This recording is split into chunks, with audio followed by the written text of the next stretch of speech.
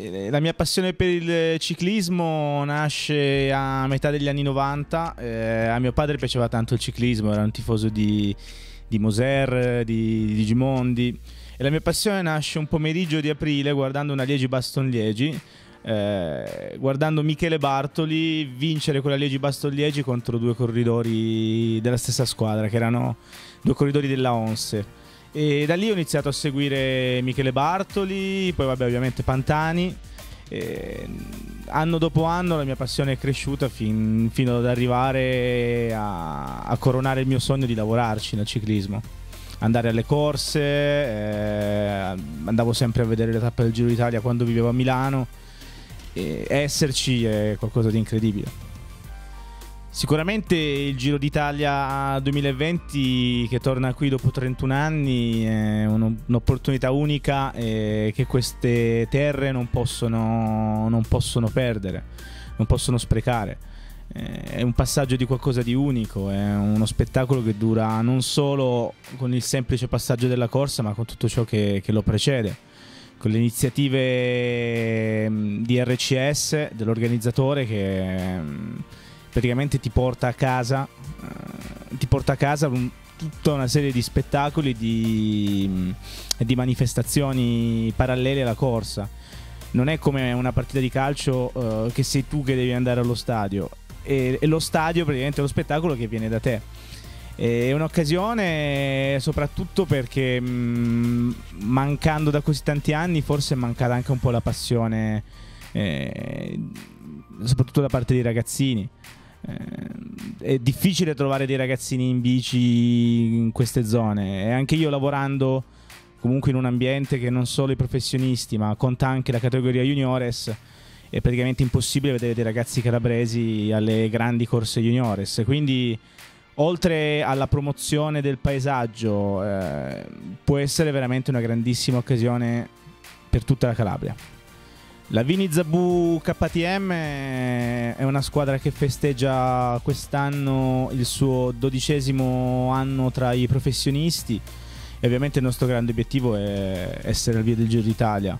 Eh, l'anno scorso abbiamo saltato un turno e speriamo che quest'anno RCS ci consideri eh, al via della Corsa Rosa.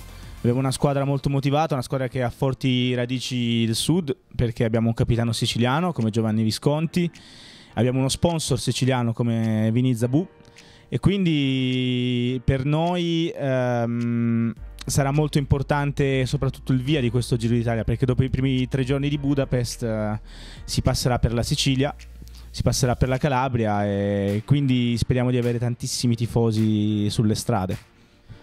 Giovanni Visconti che ha compiuto proprio ieri 37 anni, è il nostro capitano, un corridore strepitoso ma soprattutto umanamente per tutti noi è un modello. È un corridore che l'anno scorso in due mesi è passato dal letto di, di un ospedale in Austria alla, alla, vittoria del Giro della Toscana davanti a Egan Bernal, vincitore del Tour de France e dopo due settimane eh, è stato convocato ai mondiali eh, lui è la nostra guida e il nostro progetto sportivo quest'anno è soprattutto eh, legato alle sue prestazioni. Giovanni Visconti non solo grande corridore ma grandissimo uomo squadra, è un motivatore eccellente per tutti i ragazzini e quest'anno abbiamo veramente tanti giovani. Eh, abbiamo un progetto che ha visto l'anno scorso la creazione di una squadra under 23 eh, dedicata a Franco Ballerini da, che che era affiancata alla squadra juniores, anche quella in memoria di Franco Ballerini. E da questa squadra under 23 abbiamo fatto passare professionisti tre corridori. Eh, quindi diciamo che nostra, il nostro modello di squadra è questa, Giovanni Visconti capitano e tantissimi giovani al suo fianco. Professionalmente eh, le mie più grandi soddisfazioni sono state partecipare a tre giri d'Italia, a tre Milano-Sanremo, a due giri delle Fiandre. Però porto nel cuore un giorno in particolare che è stato l'anno scorso la vittoria di Simone Velasco al Trofeo Legueglia. Perché era dal 2016 che non vincevamo una corsa in Italia e vincerla così con 50 km in solitaria è stata veramente una liberazione soprattutto considerando che poche settimane prima era arrivato il rifiuto alla, della wild card per il Giro d'Italia.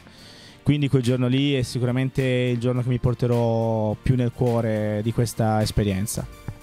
Mi raccomando a tutti i calabresi, voglio vedervi pronti a maggio sulle strade del Giro d'Italia e tifate Vini Zabu KTM. E quando passeremo con la macchina sarà una grande emozione passare su queste strade.